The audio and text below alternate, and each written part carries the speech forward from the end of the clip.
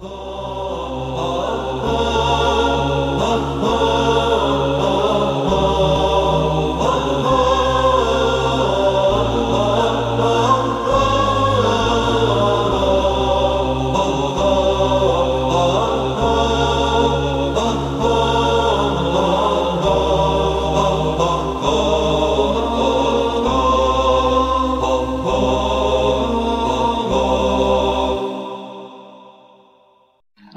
بالله السميع العليم من الشيطان الرجيم. بسم الله الرحمن الرحيم.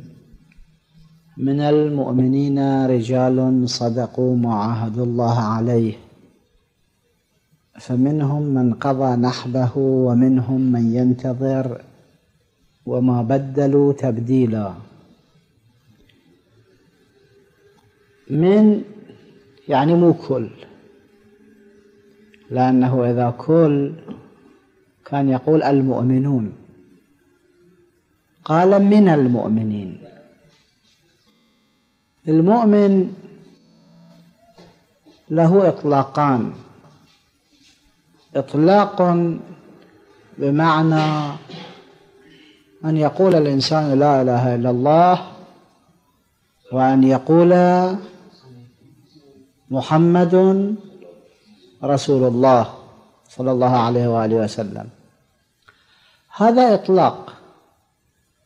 هذا الإطلاق يشمل المؤمن العميق ويشمل المنافق أيضا. إذا جاءك المؤمنات يبايعنك على أن لا يشركن بالله وإلى آخر الآية قرأها رسول الله على هند. وهند لا شك كانت منافقة. وإلى أن ماتت كانت منافقة. ومع ذلك أطلق عليها المؤمنة. المؤمن العميق. هذا أيضا على قسمين. مؤمن استوعبت نفسه الإيمان. ومؤمن عادي.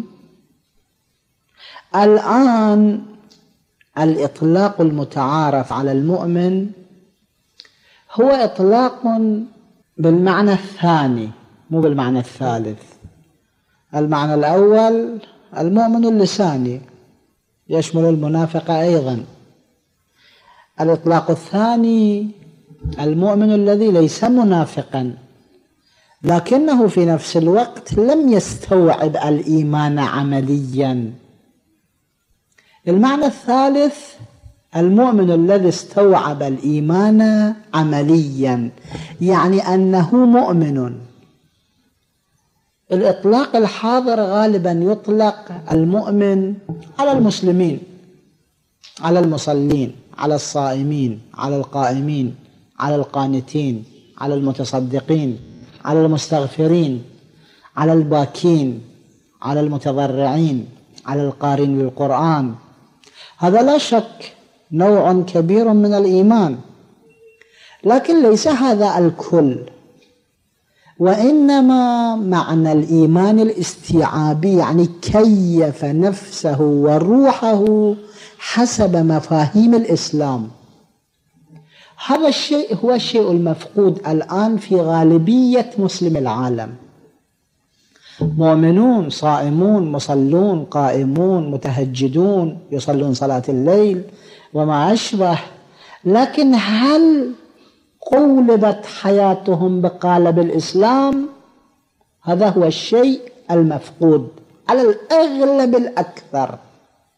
وهذه هي النقطة التي كانت سبب انبعاث المسلمين وهي النقطة التي سببت جمود المسلمين في تركها. وإلا المؤمن هو المؤمن.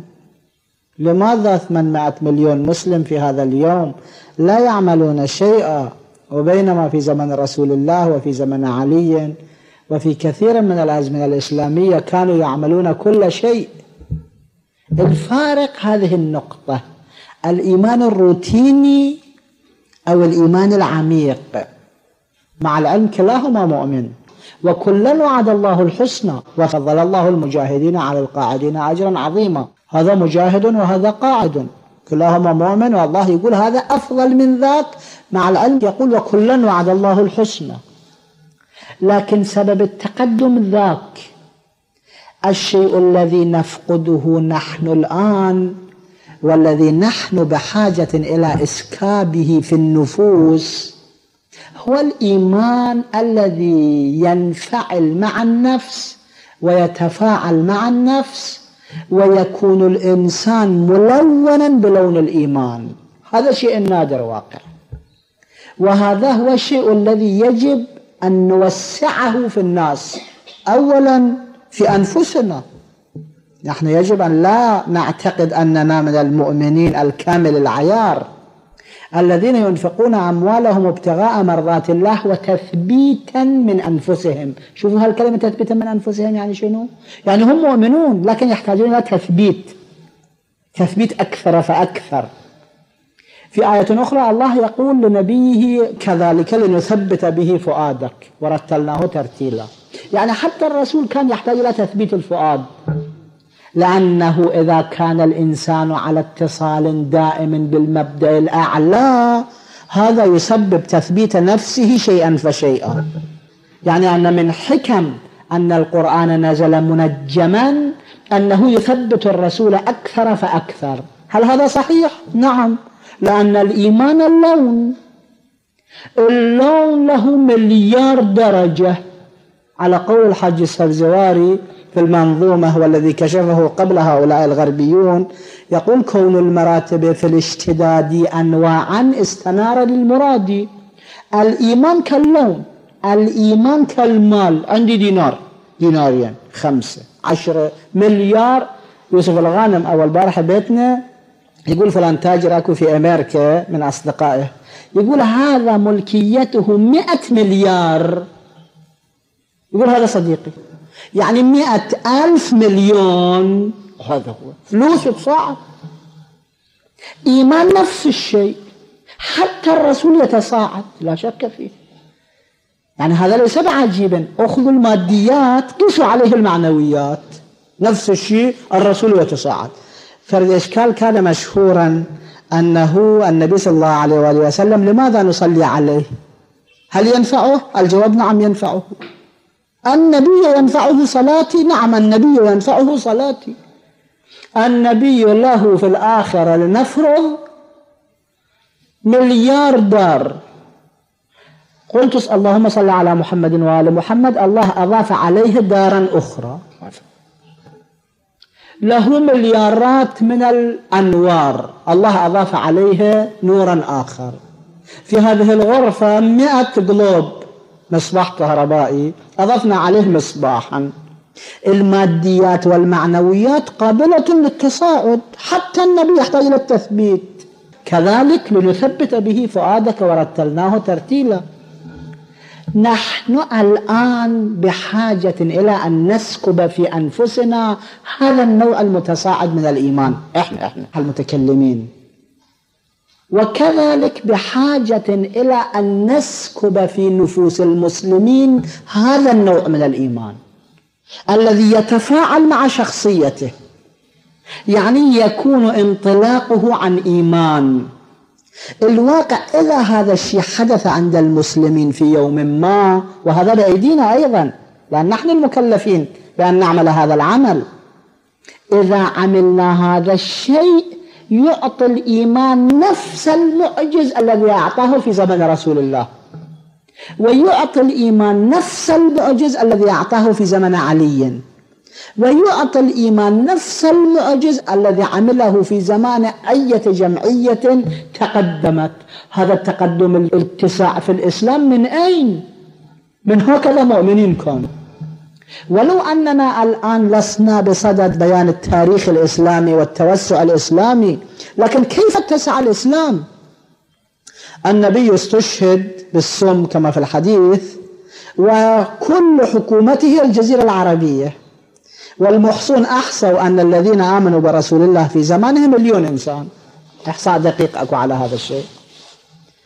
ثم بعد ذلك توسع الإسلام. هؤلاء المؤمنون الصفوة الصادقون الذين تكيفت حياتهم بكيفية الإسلام. في مختلف الميادين لسنا نقصد الآن في ميدان الجهاد فقط والحرب في ميدان العلم. أنا رأيت الحقيقة أنا رأيت نماذج في حياتي جدا هائلين هؤلاء. من جملتهم هذا الرجل المرحوم الشيخ أبو بزرق الطهراني الله يرحمه. هذا كان مجاهدا في ميدان العلم لا شك فيه. وإلا ما كان يتمكن أن يخلف هذا الأثر الضخم لأن الذريعة مو كتاب صغير في الحقيقة. كتاب هائل هذا الكتاب. الإنسان يذهب ليل نهار لمدة ستين سنة ولا ينام الليل إلى الصباح وهو إنسان منحني وعيونه ضعيفة وبيده المرتعشة يألف أنا رأيته في الحقيقة. كان يأتي إلى كربلاء يروح للحضرة حضرة خفيفة يروح. يقول أنا تكليفي أن أكمل هذا الكتاب. لأظهر هؤلاء الجماعة. وبالفعل أظهر. هو الكتاب الوحيد الذي ألف حول هذا الشأن. الذريعة إلى تصانيف الشيعة. مو كتاب صغير. ومو عمل قليل. عمل خمسين سنة جهاد. نقصد بميادين الجهاد. لا نقصد إلا الحرب وإلا الكذا. كل الميادين إحنا بحاجة إليها. فهذا كان يأتي إلى كربلاء. أذكر يروح إلى مكتبة الجعفرية مكتبة المدرسة الهندية. أنا كنت عضو في التأسيس لهذه المكتبة. فهو يروح على فرد حضرة خفيفة وياكل شيء خفيف يصرون عليه نجيب لك عشاء. يقول إذا أكلت عشاء زايد ما أتمكن أكتب. فيأكل فرد خبز شوية وفرد جبن فرد هالأشياء البسيطة تمر شيء. ثم من أول الليل إلى الصباح يقعد يكتب ويطالع واقع. هذا الجهاد هو يعني لون حياته هذا اللون. أما الزوجة أما البيت الواسع أما الترف أما الرفاه أما النوم أما الكذا أبدا ماكو في حياته. أنا شفت. الشيخ عبد الحسين الأميني صاحب الغدير أنا رأيته في الحقيقة. نفس الوضع كان. هو جلس وكتب وجلس وكتب وجلس وكتب حتى إحدى غضاريف ظهره انحرفت وبسببه مات. وكان يقضي الليل والنهار في التأليف والمطالعة. الأشياء مو أشياء صغيرة هم جهاد هذا أيضا. لأننا إذا أردنا أن نجاهد يعني نجاهد في جميع الميادين في ميدان الصناعة في ميدان التجارة في ميدان الزراعة. لماذا فرد رجل أمريكي عنده مئة مليار فلوس خيالي هذا واقع لا تملكه حكومة الكويت النفطية ورجل واحد يملك هذا الشيء. قال قال عنده عمارة 35 طابق مختص بمكتبي هذه العمارة. عمارة ضخمة فيما أدري في أين. الحقيقة إذا هذا الفلوس كان يملكه تجارنا ويبذلون في سبيل الله. ألم يكن هذا جهادا؟ وعلى هذا المعدل نحن بحاجة إلى أن يلون الإيمان قلوبنا تلوينا. لأن الإنسان الذي لون الإيمان قلبه هذا الإنسان طبيب يطلع أحسن الأطباء. مهندس يخرج أحسن المهندسين. كان عندنا فرد رجل الله يرحمه لعل السيد جبرائيل شايفه السيد مرزا علي الطبيب في النجف كان من أقربانه هذا في الحقيقة كان أمامه واللحية والطب الممتاز من الطب القديمي وما سمعنا أن إنسانا مات بسبب أدويته. أنا أذكر هذا الشيء. لأن هذا من أقرباني كان. والآن صورته في في عيني يعني في عين دماغي. هذا كان إذا شاف مريض صعب يعطيه دواء باحتياط ثم يذهب إلى حرم الإمام أمير المؤمنين أو حرم الحسين يصلي ركعتين ويطلب من الله شفاءه. بهذه الروحية كان يقدم. الطبيب إذا صار مؤمنا يصبح أحسن الأطباء. المهندس كذا المحامي كذا القاضي كذا الحاكم كذا الوزير كذا الأمير كذا السفير كذا المشير كذا كلهم. إيمان إذا راح أظلمت الغرفة. خلاص. إيمان رايح من عندنا واقع.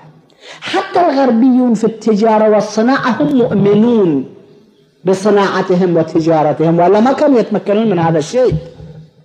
أبدا ما كانوا يتمكنون.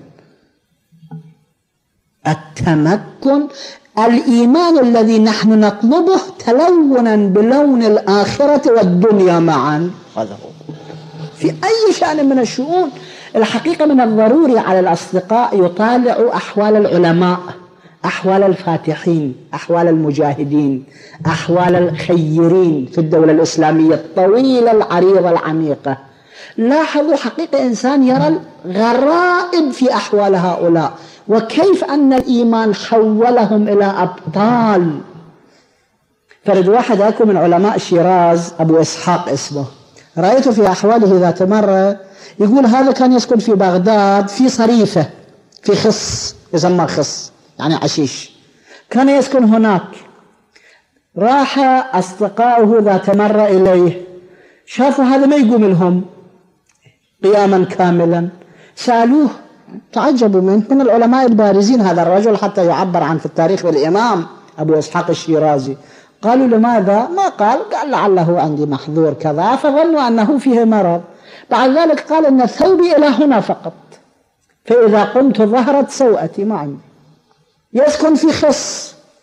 وثوبه إلى هنا حتى ما يتمكن من القيام وهو عالم إمام. هذا هو. هذا شنو معناه في الحقيقة؟ من صنع هذا الرجل؟ وفي بغداد في ذلك اليوم كل كسب موجود كل تجارة موجودة أبواب السلاطين موجودة أبواب التجار موجود. هذا صنع الإيمان. لا شك فيه. فجمعوا له ثوبا وأعطوه ثوبا. فلبس الثوب وحمد الله سبحانه وتعالى عليه. بعد مدة ذهبوا إليه إلى الدار شافوا أنه قاعد عاري. قالوا شنو عاري قاعد؟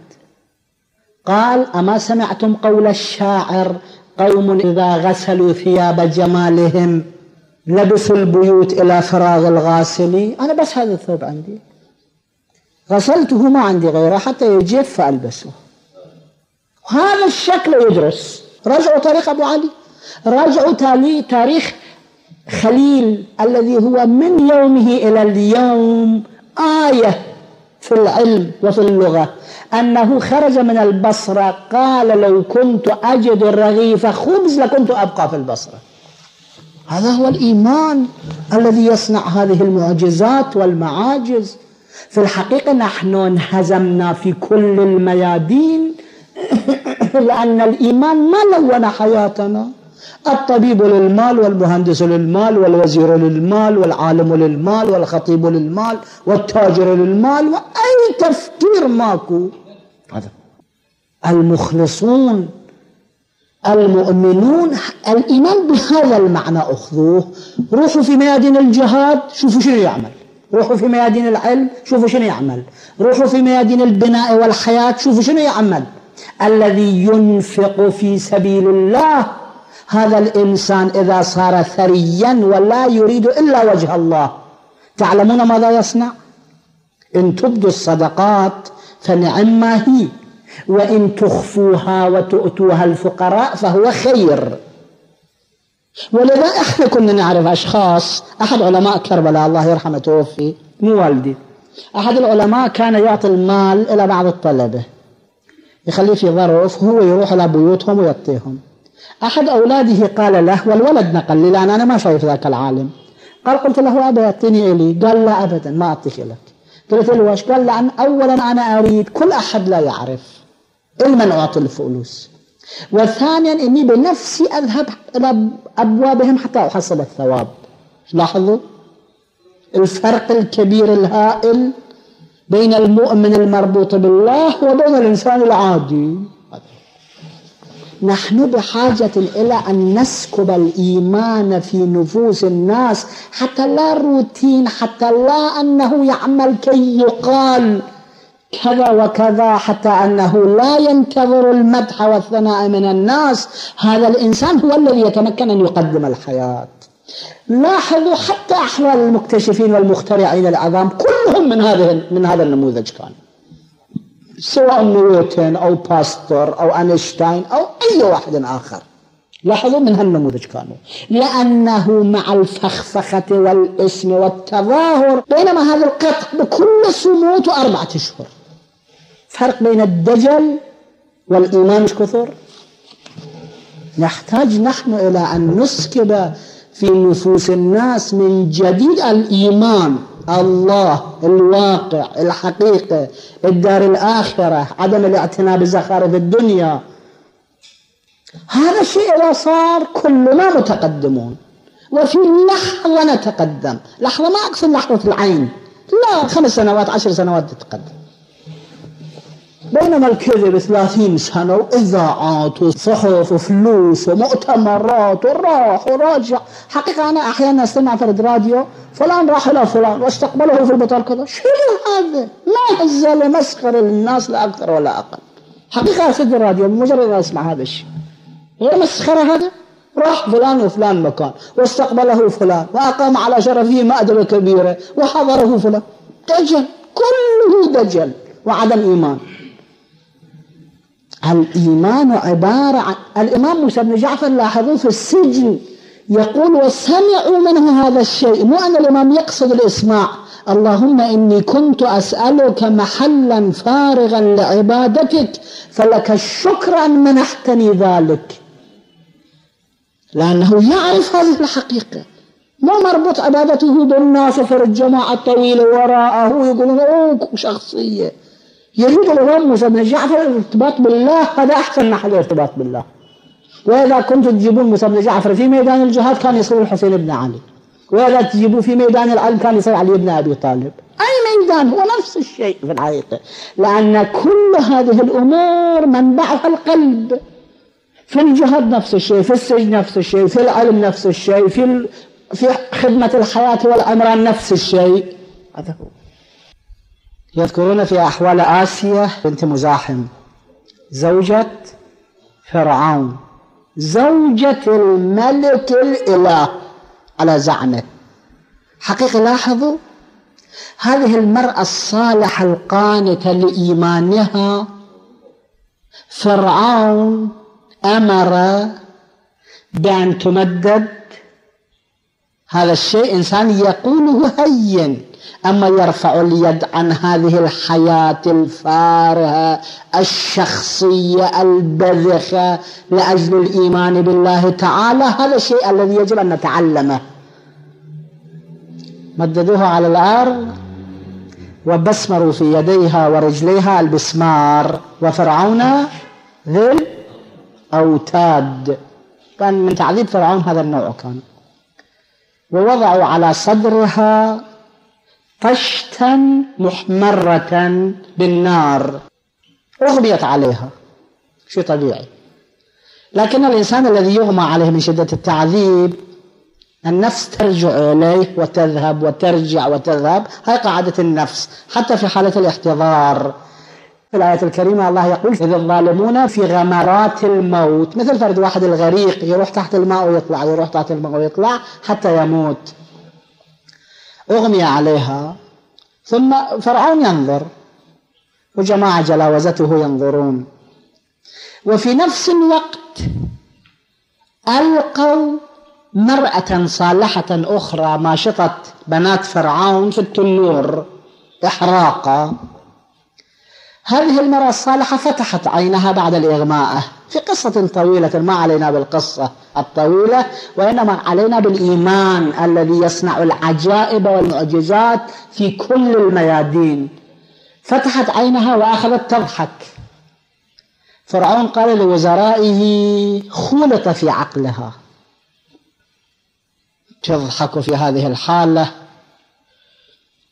قالوا نسأل منها لماذا تضحك؟ لماذا ضحكت؟ قال أحدهم قال لأني رأيت روح هذه المرأة التي ألقيتموها في التنور أن الملائكة احتفوا بها وأخذوا روحها يصعدون إلى السماوات. والضحك لهذا السبب كان أنه كيف عذبت وكيف استراحت إني رأيت روحها. في آية كريمة أكو وقيل من راق. لأن الملائكة يرقون بأرواح المؤمن إلى فوق هي رأت هذا الشيء. لما رأت هذا الشيء قالت رب ابن لي عندك بيتا في الجنة. ونجني من فرعون وعمله. الله بنى لها بيت وهي تنظر. ومر عليها موسى قال اللهم خفف عليها. الموسى ما أراد أن يرفع عنها العذاب. وإنما موسى أراد أن يري للناس المؤمنين من هم وما معناهم. معنى الإيمان هذا هو. إيمان هكذا يصنع أفراد. وفي كل الميادين يصنع أفراد من أفضل أفراد البشر.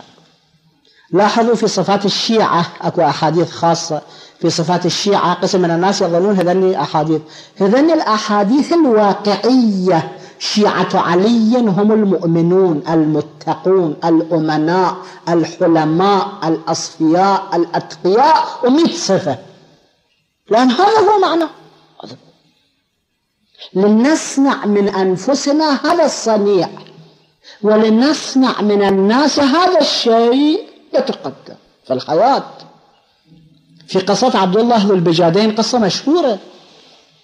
عبد الله ذو البجادين هذا قبل اسمه غير. وبعد ذلك سماها رسول الله بعبد الله ذا البجادين هذا فرد ولد شاب وقصته معروفة لكن الاقتداء به غير معروف. الاقتداء مهم.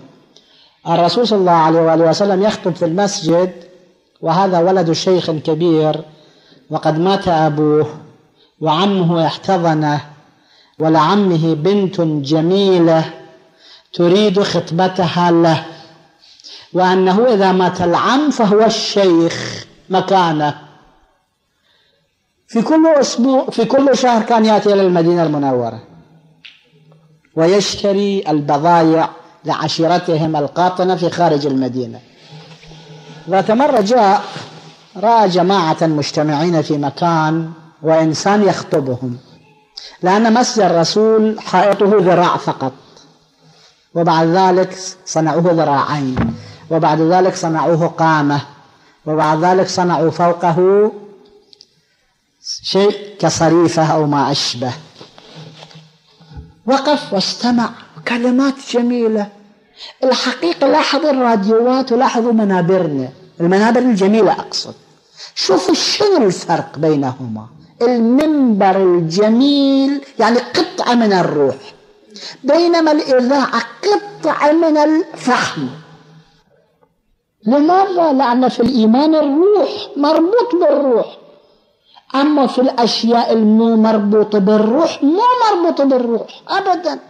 مربوط بالجسم مربوط بالمادة. فلان ذهب وفلان جاء وفلان أكل وفلان سافر وفلان استقبل وفلان تعاضدوا على ما أدري تعاهدوا على تبادل المجرمين أشياء بلا روح كالجماد كالحائط. رأى هذا الولد رسول الله يخطب وخطبة رسول الله صلى الله عليه وسلم. لتصدقوا فرد واحد غير متعظ يتمكن من وعظ الناس. أبدا. الإنسان المتمكن من وعظ الناس والذي يؤثر في الناس هو الواعظ هو المتعظ بنفسه. أنت إذا ما صليت صلاة الليل عشرين مرة تقول للناس صلوا صلاة الليل ما يصلون. قصة رسول الله مشهورة صلى الله عليه وآله وسلم. ذي البجادين. جاءه إنسان. أنا رأيت القصة بنفسي. كنت أظن هذه القصة عادية. بعد رأيتها بنفسي. جاء إنسان وقال يا رسول الله إن ولدي يأكل التمر والتمر يضره. انهيه عن ذلك. النبي قال نعم لا بأس. ائتني غدا. فجاءه غدا هي امرأة فجاءته غدا ومعها ولدها. الرسول نهاه عن ذلك. ألا يأكل التمر؟ لأن التمر يضره. بعض الأصحاب قالوا يا رسول الله لماذا ما نهيته؟ البارحة. البارحة كلمتان. لا تأكل يا ولد التمر. قال رسول الله لأني في ذلك اليوم كنت ماكل التمر. واليوم ما أكلت التمر حتى أنهى هذا الولد. أحد علماء كربلاء جاء إليه قصة قبل مئة سنة. لعله شيخ جعفر الششتري. جاءه عبد وقال إني في شدة من مولاي. ومولاي يحضر تحت منبرك. فأمره أن يعتقني. الشيخ جعفر قال لا بأس. أمره بذلك. كان الشيخ جعفر على أنه مجتهد ومرجع تقليد وصاحب رسالة كان يصعد المنبر. قال أمره بذلك لا بأس. العبد اليوم الثاني اجى ما قال يوم الثالث اجى ما قال يوم الرابع اجى ما قال يوم السابع اجى ما قال يوم العاشر اجى ما قال عدة أيام. وفي يوم قال الشيخ جعفر الششتري قال أيها الناس فضيلة العتق هكذا من أعتق عبدا فله بكل عضو يعتقه يعتقه الله من نار جهنم. قال الحديث المولى في نفس المسجد والعبد في نفس المسجد قال أنت عبدي حر. العبد جاء للشيخ جعفر الششتري قال شيخ أنا الآن قبل 20 يوم 30 يوم أنا قلت لكم نسيت الموضوع. قال لا ما نسيت الموضوع. قال لماذا أخرت؟ قال في الحقيقة أني ما كنت معتق العبد إلى هذا اليوم لأن مالي لا يعني يكفيني أن أشتري العبد. من يوم قلت لي إني. إني توفرت قسما من المال وضيقت على نفسي واقترضت شيئا حتى حصلت على مال واليوم صبح أعتقت عبدا حتى الله قلته. ورأيت أثره. هذا واقع. الموعظة إذا خرجت من القلب حديث. دخلت في القلب. وإذا خرجت من اللسان لم تتجاوز الآذان. كلام جميل. لا أكثر ولا أقل. أما تؤثر في الناس هذا ماكو أنا رأيت في أحوال غاندي في كتابه موجود تجاربي مع الحقيقة. كان إذا أحد أصحابه أخطأ أصحاب غاندي كان يصوم غاندي. مو صومه الطويل المعروف. لا يصوم أربعة أيام عشرة أيام خمسة أيام. يقول لأنه يتبين إني على انحراف لأن صاحبي صار منحرفا. إني أصفي نفسي حتى أشعة نفسي تصل إلى نفسه ويصبح مستقيما. راجعوا تاريخ شوفوا الرسول يعظ الناس هذا الولد يمر. الإيمان ماذا يصنع؟ أن هذا الولد مر. كلام جميل. من هذا؟ هذا مدعى للرسالة ما هي رسالته؟ شهادة لا إله. حقيقة عجيب عندنا سلاح لكن لا نعرف كيف نستعمله. شوف الإسلام قطعة جمال. شهادة لا إله إلا الله. أن هذا الإله أنبياء أنه يوم نرجع إليه. صدق أمانة وفاء حياء غيرة مروءة حسن المعاشرة حسن الجوار. حقيقة أعظم سلاح بأيدينا.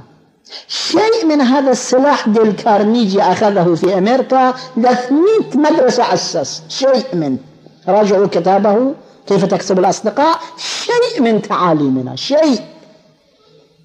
حتى فرد واحد من أصدقائي كان جاي عندي في كربلاء من أصدقاء كارنيجي قبل 30 سنة. تكلمت أنا معه.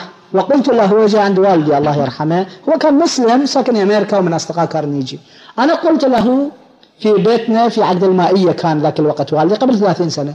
قلت له هذا الشيء اللي كارنيجي ذكره في كتابه كيف تكسب الأصدقاء؟ هذا موجود في كتابنا جامع السعادات. وهو جزء من جامع السعادات مو كله الفضل مو إله قال صحيح الفضل مو إله لكن هو لا يعلم بهذا الكتاب وهو عن نفسه يقول هذا الشيء وفضله هذا. حقيقة جزء من تعاليمنا ينير العالم. لكن لنعرف كيف نستعمل هذا السلاح. سلاح مربوط بالفطرة بالإنسانية بالعقل بالتقوى بالتقدم بكل خير. سمع كلام رسول الله أعجبه. قال لعمه يا عم لماذا كل أسبوع مرة كل شهر مرة؟ إني مستعد كل أسبوع مرة أروح إلى المدينة المنورة لأشتري الطعام. كل أسبوع جاء ليسمع على كلام رسول الله. بعد ذلك عرف عمه بأنه هذا متمايل إلى دين رسول الله صلى الله عليه وآله وسلم. عمه قال أنت متمايل إلى دين محمد؟ قال نعم. قال اعلم يا ولدي إذا أسلمت فإني لا أعطيك بنتي. قال لا حاجة لي في بنتك. اعلم أنك إذا أسلمت لا تكون شيخا مكاني على القبيلة. قال لا حاجة لي في شيخوختك. اعلم يا ولدي أنك إذا أسلمت تحرم من ميراثي. لا حاجة لي في ميراثك. اعلم يا ولدي أنك إذا أسلمت أخرجك من بيتي عاريا. لا حاجة لي في ملابسك. قصة طويلة المعروف. لاحظوا الإيمان؟ هذا هو الإيمان في الحقيقة. لأن الإيمان معناه هذا. لونوا حياة الناس بالإيمان حتى تروا المعاجز منهم. معاجز جهادية معاجز قلمية معاجز طبية معاجز هندسية معاجز صناعية معاجز عمرانية أية معاجز أردتم. وجاء الولد وسلخه الأب العم من ملابسه وجاءت إلى أمه وأمه بكت عليه ولبسته من جلال الحيوان. جلجل كان عندهم فرد جل شق شقته وأخذ ظهارة الجل وبطانة الجل ولبسته شيئين شيئا على وسطه كإزار وشيئا على كتفه كغطاء. وجاء إلى المدينة وكان الليل ونام في المسجد ورآه الرسول صباحا صلى الله عليه وآله وسلم. من أنت يا فتى؟ قال أنا فلان. وسمى اسمه. قال كلا أنت عبد الله بالبجادين البجادين يعني هذه الاثنين. ثم قال يا رسول الله ادعو الله أن يرزقني الشهادة. حقيقة لاحظوا التحويل الإيماني. يفرحون بالشهادة مو امتنان مو تصدق مو مباهات وبالفعل حارب مع رسول الله وح وقاتل وقتل أو تمرض ومات على كل حال. الإيمان يصنع المعجزات. نحن نسمع قضايا الحسين عليه الصلاة والسلام وقال الولد إن أمي هي التي ألبستني لامة حرب نتعجب. ما في تعجب. الإيمان هو هذا معناه أصلا. غيره إذا كان كان أصحاب عمر بن سعد. جورج جرداق عنده خش عنوان في إحدى كتبه هذا يقول على أنه جيش معاوية من يعطينا الأكثر. وفي جيش علي أي الطريق أقوم. يعني أصحاب علي يريدون الطريق الأقوم. أصحاب معاوية يريدون الفلوس الأكثر. دائما الحق والباطل يتجليان في هاتين القصتين. قصة الروح وقصة الجسد.